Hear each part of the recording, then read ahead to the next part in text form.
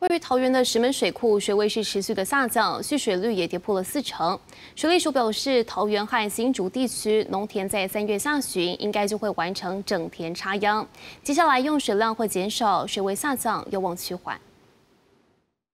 枯水期靠春雨加持，这半个月来，石门水库工作人员赶紧在封面接近时进行人工增雨。不过入水量还是赶不上出水量，水位持续下降。十七号蓄水率降到三十七点九二帕，跌破四成。水情是否拉警报呢？北水分署表示，三月下旬农田完成整田插秧，水位下降，渴望趋缓。相对现在目前一天整田插秧，呃，一百四十万吨的。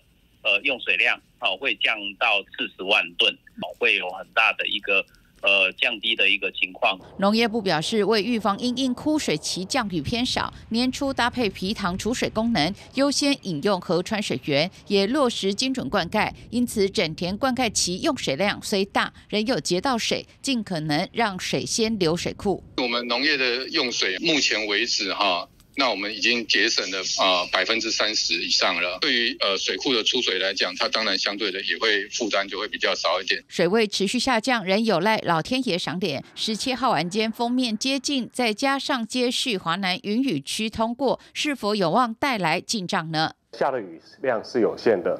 所以，如果要等到更多的雨势，可能要等到后面更接近梅雨期的那一段时间。至于供应竹科用水的宝山与宝二水库，截至十七号蓄水率在四成上下。北水分署表示，竹科早已启动自主节水五到六趴，新竹地区供水还算稳定，但由于降雨仍存在不确定因素，还是呼吁不管产业还是民生，要努力节约用水。记者林俊梅、谢启文台北报道。